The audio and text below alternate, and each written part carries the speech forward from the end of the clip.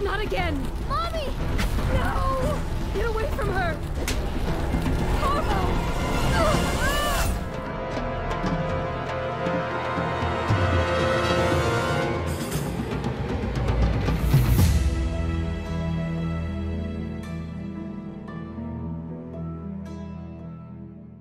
Moment of revelation, stealth has been one of my favorite genres since, well, since forever.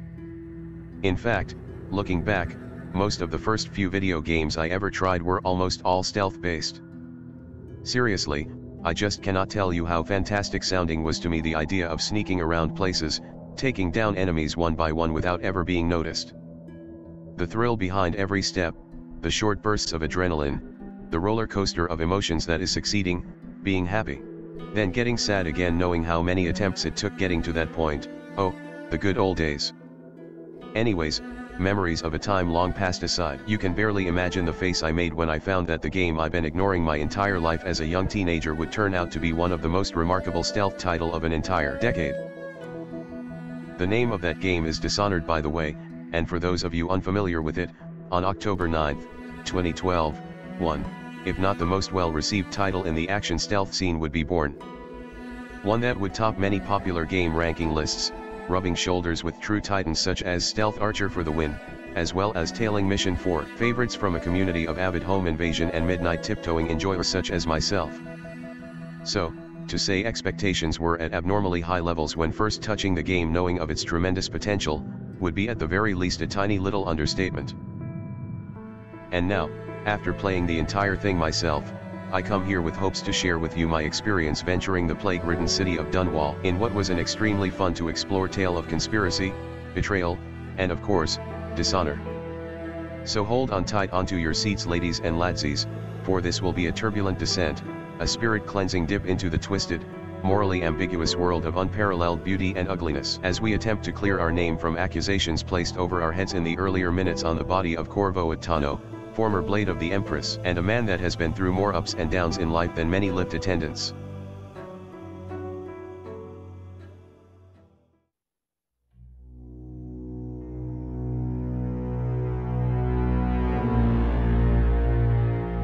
To start things off, I want to say right off the bat that in my experience Dishonored was indeed an amazing game and in saying that there should be no doubt remaining over the length of this review that, as it stands, it is truly deserving of the position it acquired at the top of its category. Squeezing in an incredibly tight space enough content to make a full tart with almost all the deliciousness one could ever want, it feel uncanny to place it anywhere lower than at that mark. With that said, it's also important to note that the game still had its fair share of underlying deficiencies, shortcomings, mostly character and story related, that as problematic as they were, were by no means enough to drag down the entire experience by any significant amount.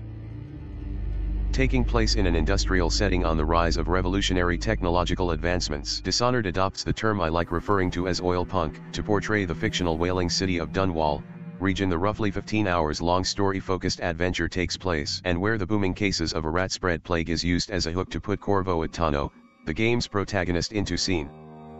Upon returning empty-handed from a diplomatic mission he was sent in the Empress's authority to obtain information regarding the affliction. Corvo goes straight to the encounter of his leader to deliver the news, without the knowledge that a carefully planned attack against the Empire was about to be set in motion, leading to the death of an Empress, the temporary disappearance of her daughter, and framing Corvo as guilty in the process. Claiming for itself the mantle of a definite voyeur master with this title, Arkane made no short work of the playfield it was given. Separated into chapters, the game sells itself in parts, following a rather linear, consistent, and also quite diverse format that employs a multitude of artifices to really grab, hold, and slam dunk the player's attention somewhere down the road. Levels, for instance, laid out in a most impressive manner, make for a play that is sure not to disappoint even the savviest of explorers, as seemingly every corner has been treated to special attention, so to make them at least worth the visit. All in all, a ride that entices for its meticulous world building, flexible combat AI, fluidity of controls, impeccable ambience, alongside a simple yet efficient method of storytelling. In being played from the same perspective as a first-person shooter, the magnitude of stuff we get to experience just walking around is magnified tenfold. Getting to see from the corners of our very eyes in full detail the kind of decadent, sickening state the streets have taken following the ascent to power of a man as repugnant as the squeaky rats that roam freely the unlit alleyways of the city is just, something on its own. From corpses rotting on open skies to corrupt guards that delight in blowing the sick who flee their terrible lockdown, there was a total of zero effort spent in hiding this awful reality. And I must admit, it is quite lovely to be on the sidelines, carrying the steel of change as events unfold.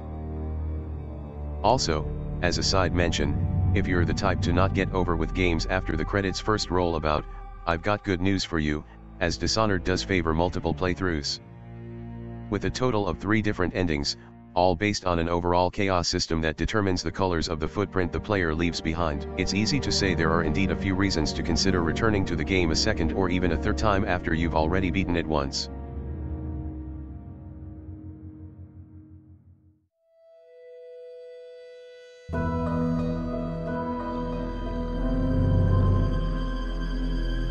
Is our kingdom, or so said Mufasa before free-falling dagger in hand onto the back of an unsuspecting wildebeest stampede, a truly spectacular moment in animation history if I've ever seen one. As some of you may or may not already know, I am a huge fan of pretty graphics, like, who isn't? They are a visual medium's ultimate jewel after all. The thing is that, despite my immense appreciation and love for this specific facet of video game development, I am also rarely sold by that alone. To me, it does not matter how insanely beautiful any given title might be on the outside, if everything else about it is shitty, then case closed. For today's story, it was no exception. But, as I've attempted to make it clear from the very beginning, Dishonored was a pretty solid game altogether. Continuing on this same positive note, I wish to extend some of the love to the visual aspect of the game that, as far as I've seen, has been somewhat looked over relative to the amount of effort put into it. Much to my surprise, and of others I'm sure, for a game released in what feels like ages ago, the visuals it brings out are nothing short of fantastic. There are a lot of things contributing to make the game what it is, but few equate to its visual uniqueness. Alright, before we get to proceed, I want to try being a little more daring, if you wouldn't mind, by inviting you to focus on picturing in your mind a more perfect scenario than this. Such vibrance, such irresistible palette, chef's kiss. To me, what hits the spot home in it is the conflict of coloration, the dull grayish tint of raw stone and concrete of the buildings contrasted by the aggressive, semi-intrusive glow of the sun peeking behind rooftops which complement each other so well that I almost lack in words to describe it. Throw in some shades of aged Victorian architecture, chimneys spewing smoke everywhere you look for that extra spice up effect, joined by an awe-inspiring combination of realism and a heavily themed art style which create picturesque aesthetics even recent games are barely able to compete. And you've got yourself an awfully amazing boost to motivation that'll keep you company for the long day's worth of dirty work.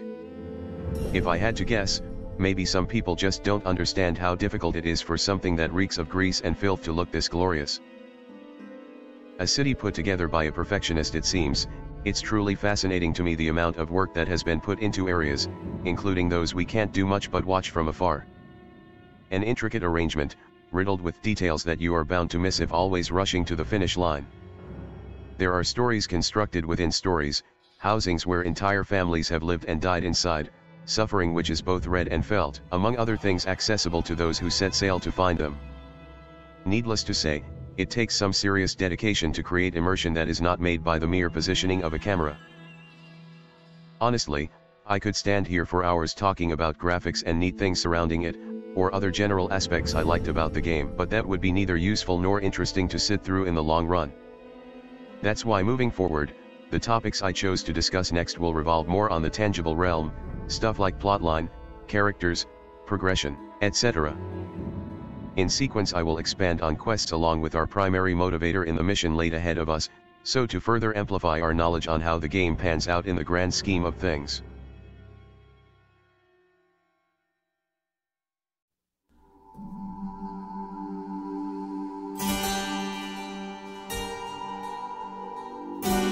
Just now when talking about stuff the game does right, I showed dissatisfaction with two specific things, story and characters.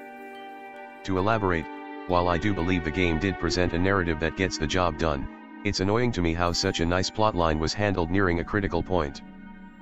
First and foremost, characters, or the NPCs we get to interact, or if you want to get more poetic, our only allies in a dark, cruel world are as two-dimensional as the bright mountainous background from Super Mario, lacking the basic humane features that make us feel attached to fictional figures in books, movies, and novels.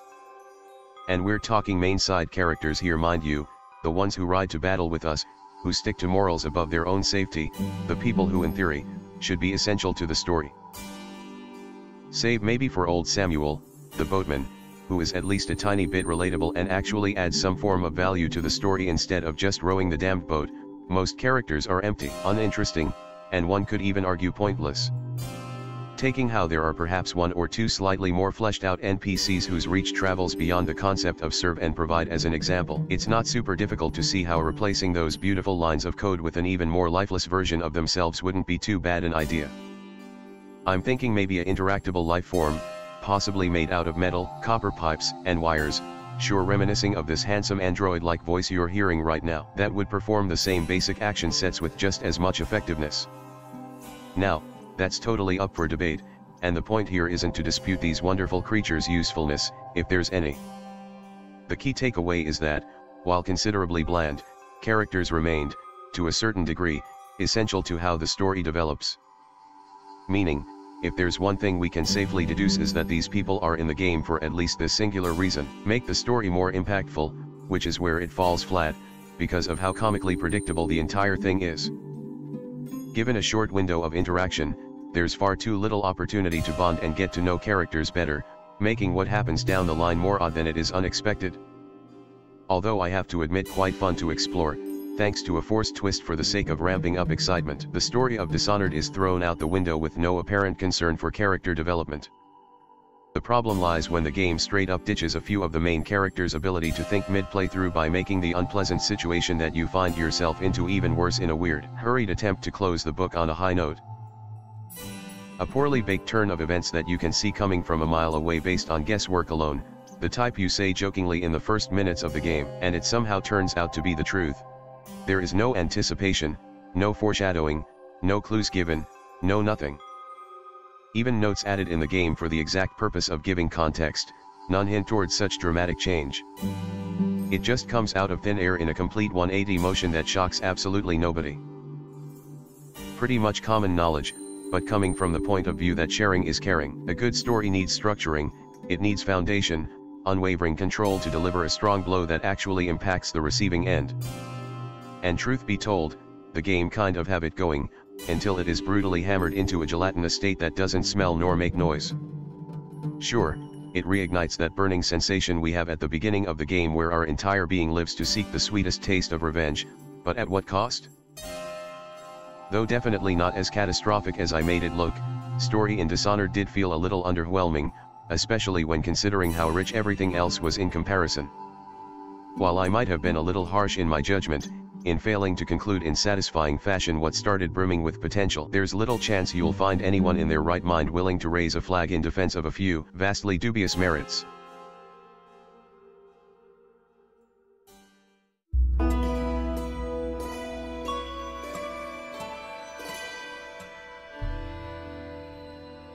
Moving on, stepping into serious business territory, talking about our mission, it's seriously no joke if you think about it. I mean, we are tasked to take down some of the most powerful political figures out of an entire empire. Add to it the fact we are armed by virtually nothing but stones and sticks, you can get the point that this is no easy task from a normal human being's perspective. The type of quest no one should be able to manage on their own capacity, unless they had a combination of monstrous talent, unbelievable luck, accompanied maybe by something a little, extra. If that sounds like too much, well, I hate to break it for you, but that's about as perfectly in line as it gets with how the wheel spins for our most honorable masked hero. First things first, the man was none other than the personal bodyguard for the crown, proving to be extremely skilled minutes into the game by single-handedly taking down a group of assassins sent after the Empress without even breaking a sweat. Second, aided by a mysterious group of conspirators he manages to escape imprisonment a few moments before the day of his public execution comes down which in my book reads as incredibly lucky all things considered. And if that wasn't enough build-up for yet another of that wonderful chosen one archetype, I present to you the outsider, a plain-looking young man that if not for the blackened eyes and the circumstances of our first meeting, you'd assume a completely fine lad. On the first night after breaking out of prison, during our sleep, we are taken into a pretty mysterious place to say the least. Acting as a sort of in-between worlds, the Void, as referred to by multiple sources, serves not only as a major tool in moving the plot forward, but also as an entryway to a new world of magical possibilities. The reason knowledge of this place is so important for the progression of this review is that due to our unexpected encounter, odds of success in our future actions just went up by a great margin. That's because the immense scope of our mission got the attention of Mr. Outsider, who is, in reality, a godlike being that for whatever reason, has grown great interest in mortal affairs, even going out of his way to grant his mark to those he finds suitable to obtain supernatural powers beyond convenient. One hell of a flavorful addition when it comes to stealth, these abilities are, in short, basically enhancements that you can acquire pretty early on through the spending of runes in a sort of perk-like system to obtain skills tailored towards improving our character's ability to quickly and quietly take down enemies. See through walls, summon a swarm of rats, possess living creatures, slow down time for a short duration, prime examples of what can be achieved pretty early on if you're dedicated enough to search for the location and find the aforementioned trinkets needed to complete the upgrades. A straightforward system, with little space for major flaws, leaving even less space for criticism except for how it could have perhaps expanded upon the obtainable abilities. So to make exploration not lose its value halfway into the game, seeing as runes become practically useless after acquiring the desired skills and even if the inclusion of blueprints and charms help create an alternate origin of upgrades, it's still not nearly as adequate as to have upgrade items remain impactful throughout the entirety of the game.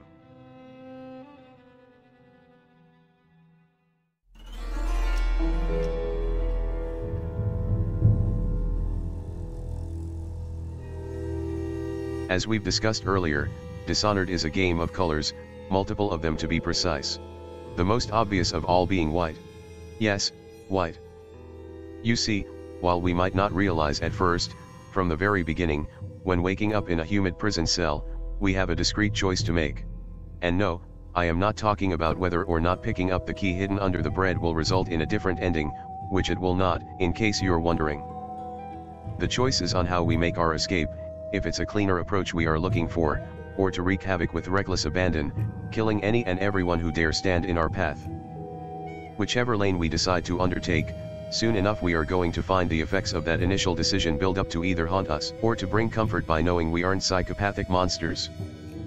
The game which starts on a blank, empty state, much like a white canvas, is open for whatever the player feels like throwing at it, and as time goes on, the final picture should be more or less aligned with our own personal sense of justice. So, should you paint the image completely red, without regard for details, or will you softly stroke the parts that need it most? Shifting the tone a bit, but not completely breaking away from what we are talking about right now, is another thing I feel is pretty important to be addressed, which is the role we play in missions. So far we've seen the result of our actions, and what ends do they amount to, but still nothing on the roads we take getting there. Be those paved with the bodies of our countless fallen foes, or just out of the thick black thingy roads are usually made out of. The terminus shall remain the same across all levels independently if we choose to take a darker turn, or follow the path which shines brighter as soon as the night falls.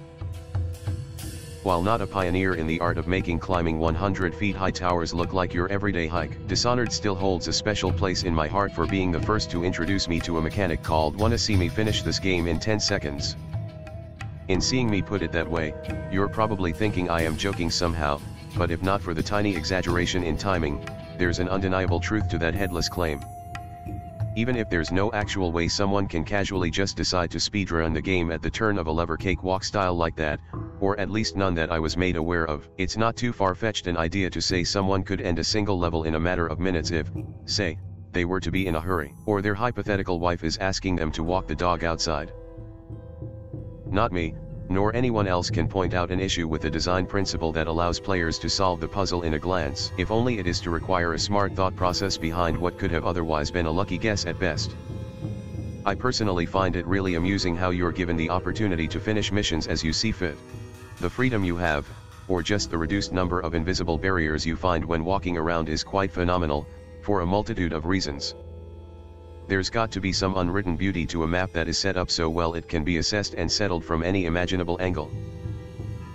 Besides, What would be the point in having a territory that goes from X, to Y, to Z if it's all locked doors? That's no fun. Just a quick recommendation though, in case you plan on playing the game yourself, turn off quest markers as soon as possible, unless you really want to be spoon-fed directions everywhere you go.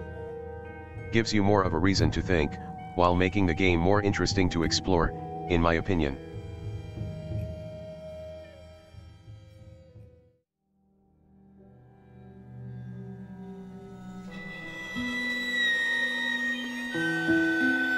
So, here we are, finally, after somehow managing to carve our way through the heart of that rotten to the core empire. Can you believe it? Even though our final destination seemed so distant, it was actually right over there, the whole entire time. There were some pitfalls along the way, sure, but guess what, at the end of the day we still stood victorious. The hardships we faced in that journey of no return weren't for nothing. Not only did we dethrone an illegitimate ruler, but we also brought his crimes against the crown to light. In standing true to ourselves, we've called down justice upon those undeserving of a second chance. Without staining our blade with any unnecessary bloodshed, we purged the shadows left behind by pure neglect, lunging ourselves amidst the chaos to preserve the future of those so dear to us. An overachiever for its time, Dishonored isn't a simple cheap shot at numbers that only gets positive appraisal due to how early it came to exist. No, it's a lot more than that. The game, which promises a shorter, immersive, seamless experience, delivers at every single thing with unbested grandeur. There are only a handful of games, a dozen few that are able to remain relevant for as long as Dishonored did, and even fewer are those actually able to have players feel proud of the time they spent playing. If somebody was to approach me one of these days to say the most insane part of this game would be the amount of possibilities there are, I'd probably respond with something along the lines of, possibilities in a linear game, yeah, alright. And boy, would I have made a clown of myself. To think this is a game I left to collect dust for so long, it sure does speaks volume about what wonders I can still be missing out on. I now find myself in a state of ecstasy, unsure about how to recover. A game that proved itself to be a rare exception to the idea that high expectations will always undermine great experiences.